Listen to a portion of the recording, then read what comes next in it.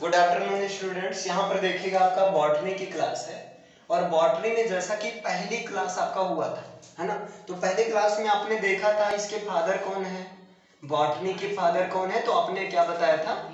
Theophrastus, है ना? फिर इसी के साथ में आपने देखा था, जूलॉजी के फादर जो है, अरेस्टोटिल है, बायोलॉजी के फादर कौन है? अरेस्टोटिल है ना? जूलॉजी और बायोलॉजी के अरस्तु हैं और बॉटनी के कौन है? थियोफ्रेस्टस हैं और माइक्रोबायोलॉजी के कौन है? एंटोनी वेन लिवेनहॉक है। है ना? और एक चीज़ आपने और देखा था और वो था आपका फादर ऑफ़ मेडिसिन तो फादर ऑफ़ मेडिसिन कौन थे? हिप्पोक्रेटस थे। है ना? आई होप ये सारी चीज़ें क्लियर हुआ होगा। फिर आपने देखा था लवक वगैरह, लवक तीन तरह का था, पौधों और जंतुओं में अंतर देखा था। सारी चीज़ें क्लियर है ना? यहाँ पर ध्यान ध्यान दो, एक क्वेश्चन और पूछा जाता है। फादर ऑफ़ एनाटॉमी है ना? फादर ऑफ़ एनाटॉमी है ना? मतलब पौधों के आकार के विज्ञान के जनक कौन है? तो ये कौन है? हीरो फिलस हीरोफिलस हीरोफिलस है। हीरोफिलस मतलब क्या है? ये कौन है? फादर ऑफ़ एनाटॉमी है। ध्यान देना। Father of anatomy father of anatomy कौन है? हीरोफिलस है। ये फादर ऑफ़ एनाटॉमी है।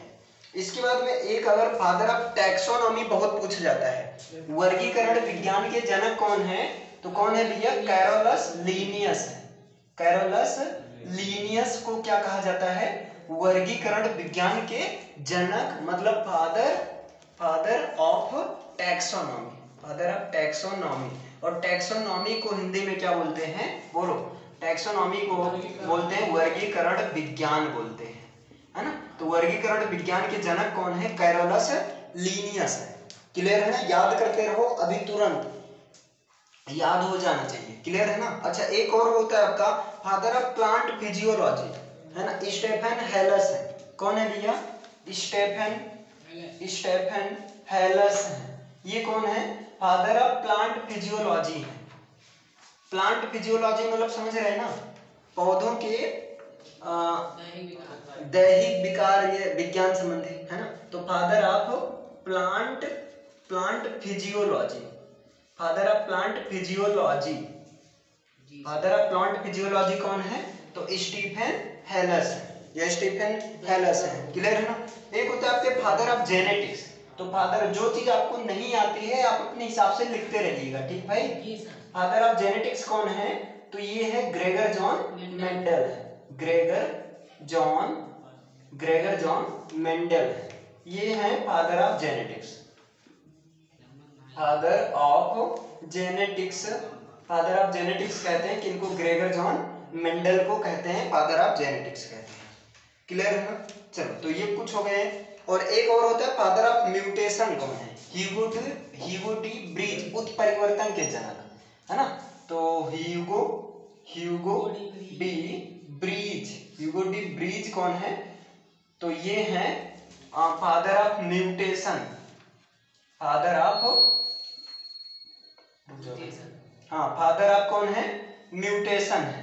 तो फादर ऑफ़ म्यूटेशन म्यूटेशन का मतलब होता है ना उत्परिवर्तन. म्यूटेशन का मतलब क्या होता है? उत्परिवर्तन. देखिए यहाँ से एक क्वेश्चन पूछा जाता है कि जीवों में अचानक परिवर्तन को क्या कहते हैं? तो जीवों में अचानक परिवर्तन को उत्परिवर्तन म्यूटेशन कहते हैं। जीवों में अचानक परिवर्तन को क्या कहते हैं? उत्परिवर्तन कहते हैं म्यूटेशन कहते हैं। क्लियर है ना? चलो बोलो। यहाँ से वैसे ये सारी चीज़ें क्लियर होगी है ना? तो यहाँ पर कुछ तो नई चीज़ें मिली होंगी है ना? जैसे कुछ नई का मतलब हो सकता है किसी को ये चीज़ नहीं हो, हो कि फादर ऑफ़ प्लांट फिजियोलॉजी कौन है? स्टीफन हेलस है। फादर ऑफ़ जेनेटिक्स ये सबको याद रहता है है ना? ग्रेगर जॉन मेंडल है। फादर ऑफ़ म्यूटेशन ये हो सकता है कुछ लोग के लिए नहीं हो। तो फादर ऑफ़ म्यूटेशन मतलब उत्परिवर्तन के जनक कौन है? ह्यूगो डी ब्रीज है। ये भी सारी चीज़ें क्लियर रहती है। फादर ऑफ़ टैक्सोनॉमी कौन है? कैरोलस लीनियस और फादर ऑफ़ एनाटॉमी हीरोफिलस है। और फादर ऑफ़ बॉटनी सारी चीज़ें क्लियर है ना?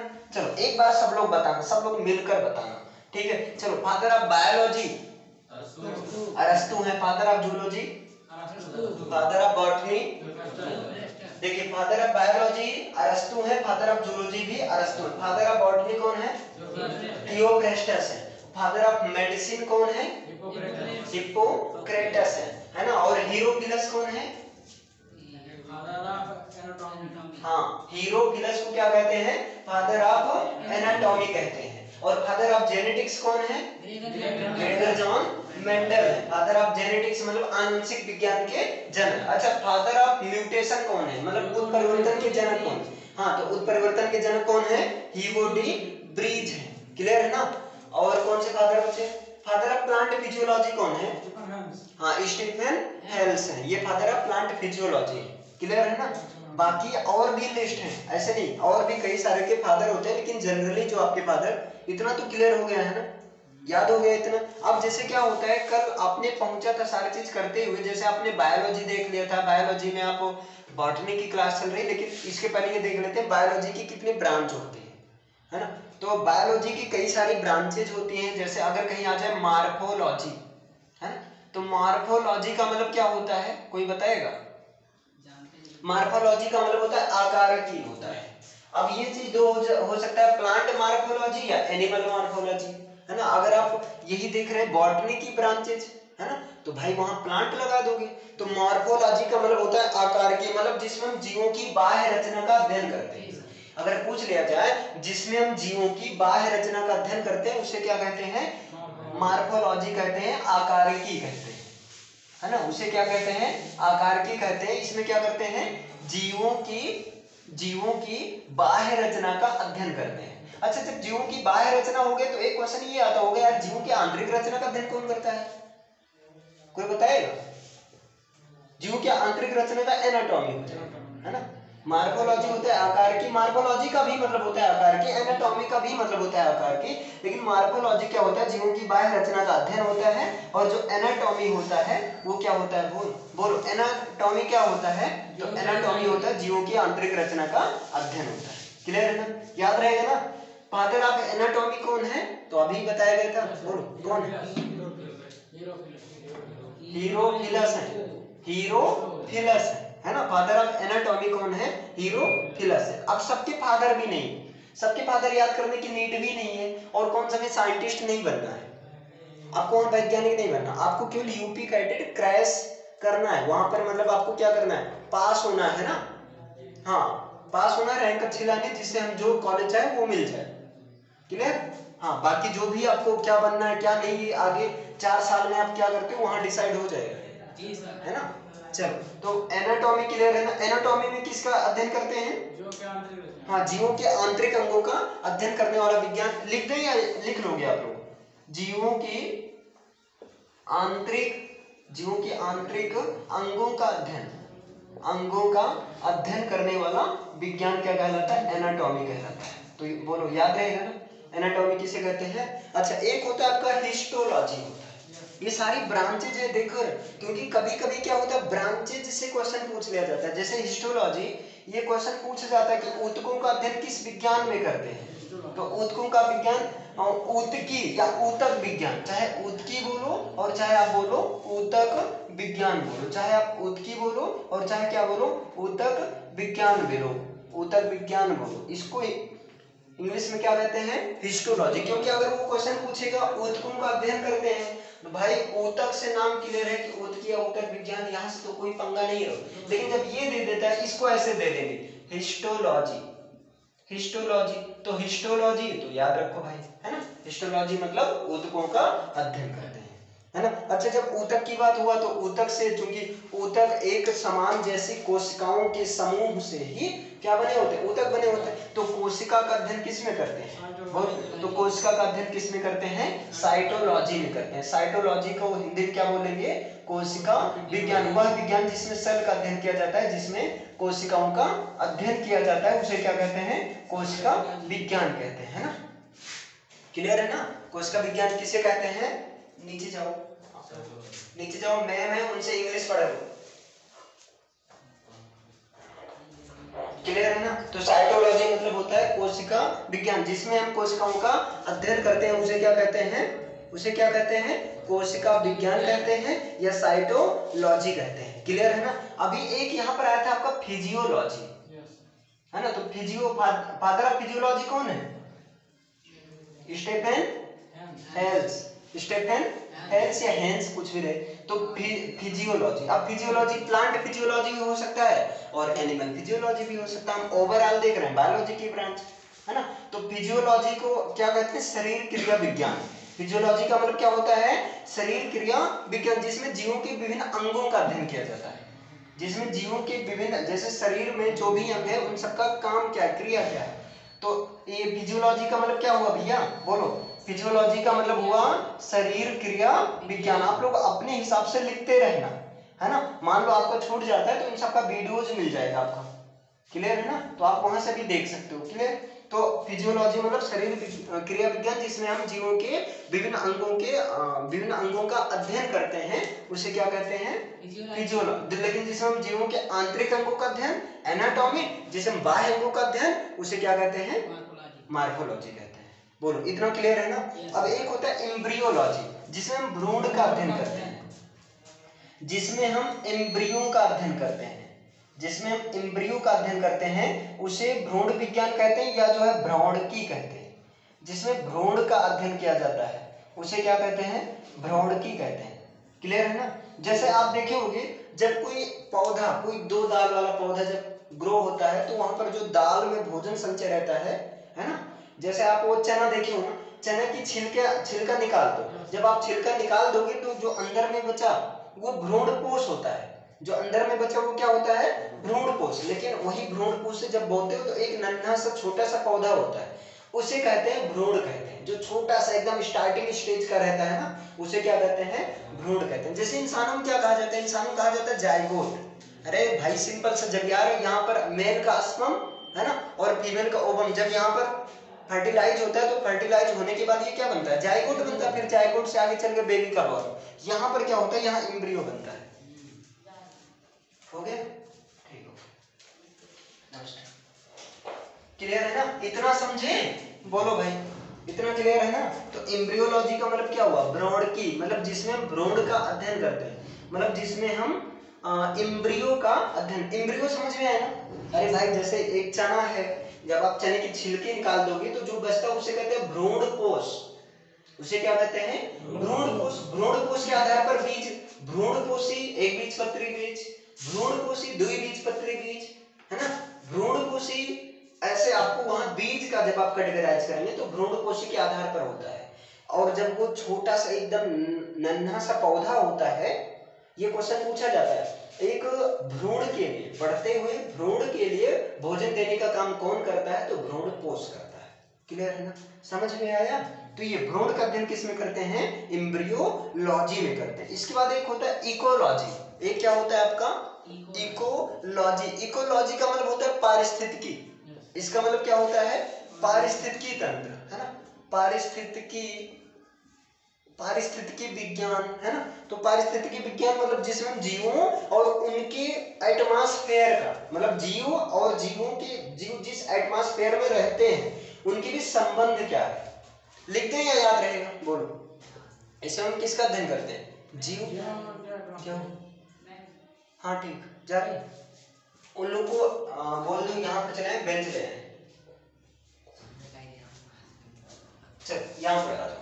तो पारिस्थितिकी मतलब इकोलॉजी है ना? पारिस्थितिकी मतलब इकोलॉजी मतलब जिसमें जीव और जो है, और उनके वातावरण के बीच परस्पर संबंधों का अध्ययन करते हैं। जीव और उनके उनके वातावरण मतलब समझ रहे हो ना? जीव किस एटमॉस्फेयर में रह रहे हैं? और उन दोनों के बीच में रिलेशन क्या जीव और उनके वातावरण के पारस्परिक संबंधों का अध्ययन करते हैं। पारस्परिक संबंधों संबंधों का अध्ययन होता है उसे क्या कहते हैं?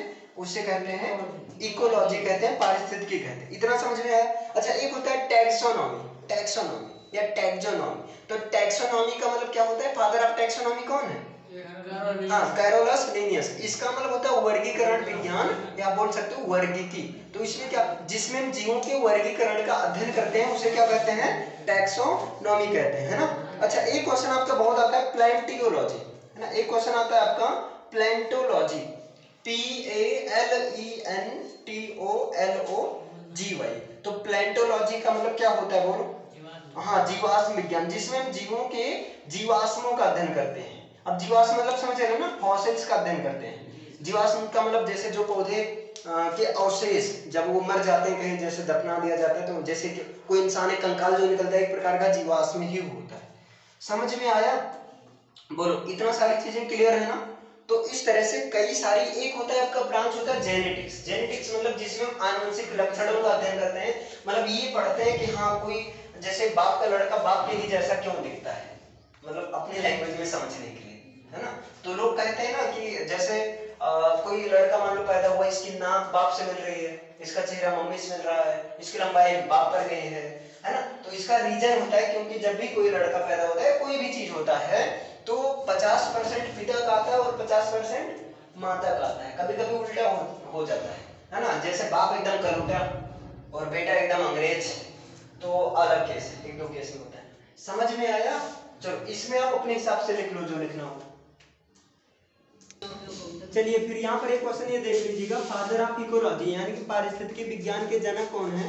तो ये कौन है भैया? इग्यून ओडम है ना? कौन है? यूगीन ओडम यूगीन ओडम ये कौन है? फादर ऑफ़ इकोलॉजी क्लियर है? ना तो ऐसे फादर और यहाँ पर आपका ये सारी चीज़ें अब आगे चलते हैं। क्लियर है ना? बाकी रही बात देखो अभी बायोलॉजी के आपको ब्रांचेज करवाया गया बायोलॉजी की क्या हुआ? ब्रांचेज करवाया गया ठीक? जी हेलो हेलो हाँ। तो यहाँ पर जैसे क्या हुआ बायोलॉजी की ब्रांचेज करवाया गया। जैसे जैसे आपका प्रैक्टिस सेट या टॉपिक वाइज सेट होता रहेगा आपको क्वेश्चन मिलता रहेगा। कुछ क्वेश्चन नए मिलेंगे कुछ क्वेश्चन इसमें से मिलेंगे जो क्वेश्चन नया मिलेगा तुरंत आप ऑब्जेक्शन करो उसको अलग से लिखो। उसको अलग से तैयार करो। जो क्वेश्चन मिल रहा है वहाँ कोई दिक्कत ही नहीं। क्लियर है ना? इसको रब करें। सारी चीज़ें क्लियर हैं? अच्छा इन सब में से सबसे ज़्यादा जो ज़रूरी चीज़ होती है एक ये प्लेंटोलॉजी पूछा जाता है। प्लेंटोलॉजी किसका अध्ययन करता है? जीवाश्मों का अध्ययन करता है। और जेनेटिक्स किसका अध्ययन करता है? आनुवंशिक लक्षणों का अध्ययन करता है। और जो है वर्गीकरण का विज्ञान क्या है? टैक्सोनॉमी कोशिका का विज्ञान क्या है? साइटोलॉजी है। और जो है इसके बाद में आ, और कौन सा बचा? ऊतक का विज्ञान क्या है? हिस्टोलॉजी है। क्लियर है ना? चलो। अब अगर हम बात करें ध्यान देना अगर बात करें बॉटनी की तो ठीक है। बॉटनी की ब्रांचेस तो भाई प्लांट मार्कोलॉजी हो गई ओवरऑल बायोलॉजी की ब्रांच में आपने क्या देखा था? मार्कोलॉजी मतलब आकार की मतलब पौधों के बाह्य अंगों का अध्ययन करना। लेकिन अगर बॉटनी के सेंस में देखें तो क्या हो जाएगा? प्लांट मार्कोलॉजी पौधों में पर्सनली केवल पौधों में, पौधों के बाह्य अंगों का अध्ययन करना क्या हो जाएगा? मार्कोलॉजी हो जाएगा। समझे इतना?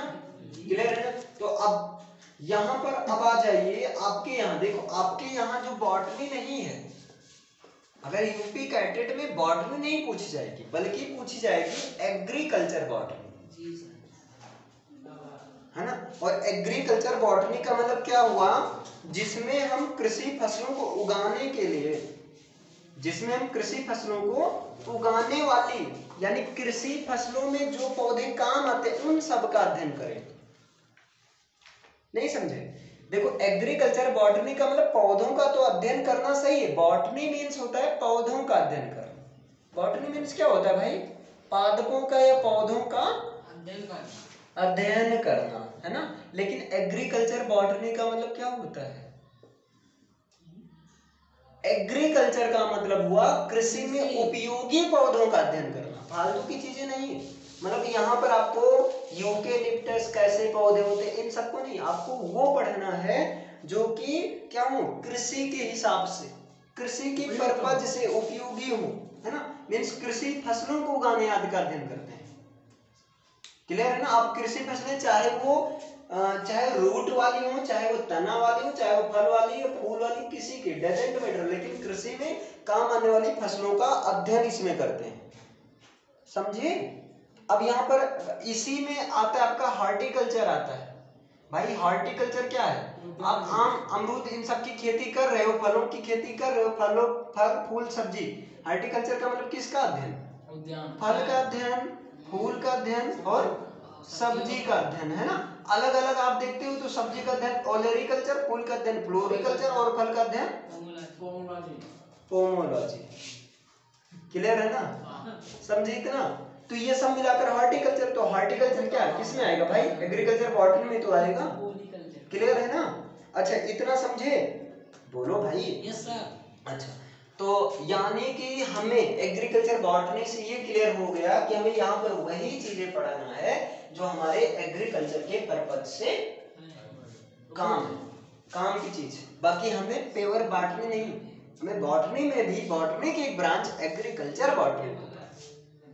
क्लियर जी सर चलो, ठीक है। अब आइडिया चल गया कि पढ़ना क्या है। तो चलो फिर शुरू भी करते हैं, है ना?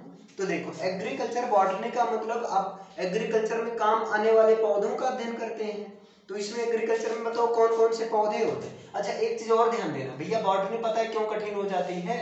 एग्रीकल्चर बॉटनी कठिन होने का रीजन ये रहता है क्योंकि एग्रीकल्चर बॉटनी में कुछ भी पौधों का अध्ययन करना होता है ना तो पौधों के साथ साथ में हमें उनके वानस्पतिक नाम का अध्ययन करना होगा।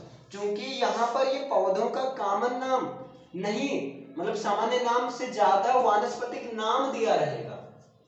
वानस्पतिक नाम दिया रहेगा। सामान्य नाम के साथ आपको वानस्पतिक नाम याद करना होगा। और वानस्पतिक नाम का मतलब वैज्ञानिक नाम जिसके दो होते हैं। एक पहले जीनस होता है, वंश का नाम होता है और दूसरे में उसके स्पेसीज का नाम होता है मतलब जाति का नाम होता है।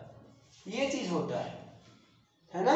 अब यहाँ पर ये चीज़ इससे जो है, कोई यहाँ से छुटकारा नहीं मिलेगा आपको, है ना? अगर आप थोड़ा सा देखोगे, हॉर्टिकल्चर जितने भी क्रॉप है, सब में वैज्ञानिक नाम। एग्रोनॉमी जितने भी फ़सल है, सबका वैज्ञानिक नाम। अगर आप जूलॉजी में घुसते हो, जूलॉजी में जितने भी जंतु है, सबका वैज्ञानिक नाम। एक दिन इसके लिए परेशान मत होना। एक दिन केवल वैज्ञानिक नाम का यानी कि एग्रोनॉमी से हॉर्टिकल्चर से जूलॉजी से जितने भी हैं जहाँ कहीं वैज्ञानिक सबका वैज्ञानिक नाम कम से कम सौ दो सौ तो हो ही जाएँगे सबका मिलाकर जी है ना? वैज्ञानिक नाम से कभी डायरेक्ट जैसे मोर का वैज्ञानिक नाम पावर क्रिस्टेटस खैर ये तो हम चले गए जूलॉजी में। जैसे आपका इसमें कमल का वैज्ञानिक नाम पूछ लिया जाता है। है ना? कोलंबो हाँ निलंबो न्यूसीफेरिया न्यूसीफेरा। है ना? जैसे अब इसमें कौन कौन से बताओ कृषि में काम आने वाले कौन कौन से पौधों का अध्ययन इसमें करेंगे? आप कहोगे टमाटर चुकंदर गाजर मतलब सब ना? तो चलिए टमाटर का वैज्ञानिक नाम? Lycopersicon esculentum. गलत है। लाइकोपर्सिकम एस्कुलेंटम यही तो है। सही है।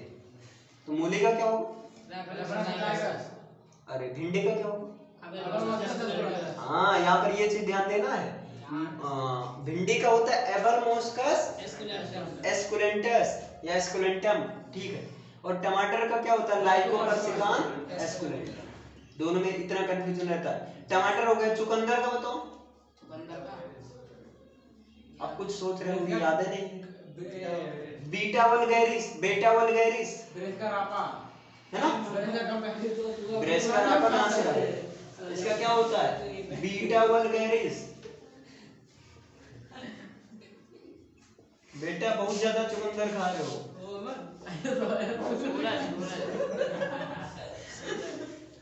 है ना? बेटा बीटा बोलेंगे लेकिन। बेटा नहीं बीटा वल्गैरिस समझे इतना? अच्छा। चुकंदर हो गया टमाटर हो गया क्या होगा टमाटर का? लाइकोपर्सिकम पर सॉरी यार लाइकोपर्सिकम एस्कुलेंट अब आपके सामने एक चैलेंज है। क्या आप लोग चैलेंज करने के लिए तैयार हो? हाँ जितने लोग वीडियो देख रहे हो, आप लोग को भी कमेंट में आंसर देना। चैलेंज ये है, ध्यान देना। हॉर्टिकल्चर में जितने भी क्रॉप हैं, ध्यान से समझना, सुनना, हम कह क्या रहे ये चैलेंज एग्रोनॉमी में जितनी भी क्रॉप हैं, है ना? आपके बॉटनी में जितने भी पौधे हैं, खोज खोज कर चुन चुन कर जूलॉजी में जितने भी जंतु हैं, इन सब का वैज्ञानिक नाम, वानस्पतिक नाम, क्योंकि हमें पता है कुछ लोग बोल ही नहीं पाते हैं। ये सब, इन सब का लिस्ट सबको बनाना है और याद करना है। सबको बना कर लाना है। पूरा मतलब किताब लो जूलॉजी की जितने भी जंतु मिले और जंतु के साथ वैज्ञानिक नाम दिख गया, तुरंत लिखो। है ना? फिर हॉर्टिकल्चर की किताब दो। जितने भी पौधे हैं, सबका वैज्ञानिक नाम के हाँ हॉर्टिकल्चर एग्रोनॉमी इन दोनों में यहाँ फैमिली भी लिखते जाना, है ना? बस दो चीज़, ज़्यादा नहीं। नहीं, वो सब कुछ नहीं। गुणसूत्र अभी उन सबको हटाओ, है ना? नहीं, पूरा खिचड़ी हो जाएगा। है ना? मतलब यहाँ वानस्पतिक नाम और इसके साथ में फैमिली कौन से फैमिली का है? और इन सबका केवल जो है वैज्ञानिक नाम। केवल जो वानस्पतिक नाम। इसकी फैमिली नहीं। इसकी फैमिली अगर इसकी भी फैमिली है ना। इसका? रहने क्लियर है क्योंकि इसकी फैमिली बहुत खास नहीं पूछी जाती। यहाँ से आपका डायरेक्ट अरे भैया ओरिजिन अब एग्रोनॉमी में पहुँच जाओगे? ये तो हमने क्या कहा? कृषि में काम। तो यहाँ से सबसे पहली चीज़ होती है वानस्पतिक नाम। यकीन मानो भाई पूरे बॉटनी में किसी भी पौधे की बात होगी तो उस पौधे के साथ में बॉटनिकल नेम की बात होगी। तो हमारा कहने का मतलब ये है, आज आपकी क्लास है, अगर इसी के साथ में अगर आप बॉटनिकल नेम की पूरा लिस्ट बना लोगे, है ना, पूरा एक दिन मेहनत करके तीन चार घंटे लगेंगे, इससे कम नहीं लगने वाला। मेहनत करके लिख लोगे, थोड़ा बहुत तो याद ही होगा। बाकी कभी भी हम, जैसे हम बोले, चुकंदर बीटा वलगैरिस तो सुनते सुनते याद हो जाएगा ना। आप लिखकर लिखे रहोगे, हमने पूछा, चलो, टमाटर का आप गया अच्छा लिखे। अगर आप देख कर बताओगे, तब भी तो याद हो जाएगा। समझे कि नहीं? तो आज ये लिस्ट पहले आप ये लिस्ट बनाओ, उसके आगे हम कंटिन्यू करेंगे। एग्रीकल्चर को। अच्छा इसका रीजन है। क्योंकि अभी इसके आगे हम कोई भी पौधे की बात करेंगे, किसी भी पौधे की बात करेंगे, जैसे हम बात करें रूट वाली फ़सलें। तो रूट वाली फ़सलें कौन सी है? सलजम हाँ सलजम का वैज्ञानिक नाम? ब्रेसिका रापा गाजर गाजर का वैज्ञानिक नाम? डाकस कैरोटा तो अब जिसको याद है उसका तो दिमाग चल रहा है। अच्छा सलजम डाकस कैरोटा मानो कोई बच्चा पहली बार गया सलजम डाकस कैरोटा सोच रहा है सलजम तो ठीक है। हाँ सलजम का ब्रेसिका रापा होगा समझ रहे हैं। गाजर का डाकस करोटा होता है ना? अब कुछ सोच रहे होंगे यार डाकस फाकस ये सब चल क्या रहा है? तो ये चीज़ क्या करो? आप एक लिस्ट बना लो ना कि वहाँ बोला जाए आपका माइंड काम करे अच्छा। वहाँ कैसे काम करे माइंड अच्छा ये तो इसके साथ में वैज्ञानिक नाम वानस्पतिक नाम भी बोला जा रहा है क्योंकि वानस्पतिक नाम से डायरेक्ट क्वेश्चन पूछा जाता है ना। जी सर। और इन अगर इन चारों का देखोगे कम से कम चार पाँच क्वेश्चन मिल जाएँगे डायरेक्ट वानस्पतिक नाम से इन चारों सब्जेक्ट से मिलाकर के। क्लियर है ना? वानस्पतिक नाम एक दिन अगर तीन घंटे की मेहनत बनाकर टाइम निकाल कर लो लिस्ट बना लो लिस्ट का मतलब खोज खोज कर लिखो। अभी बाहर से मत लिखो।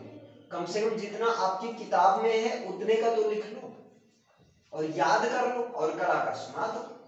तुम लोग तेज हो।